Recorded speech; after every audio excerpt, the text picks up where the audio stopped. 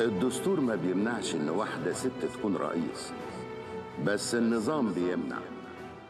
النظام مش إحنا بس إحنا والجهاز الإداري للدولة الشعب والموظفين المجتمع وثقافته وتعليمه عاداته وتقاليده وعقيدته وخرافاته. النظام هو كل الحاجات دي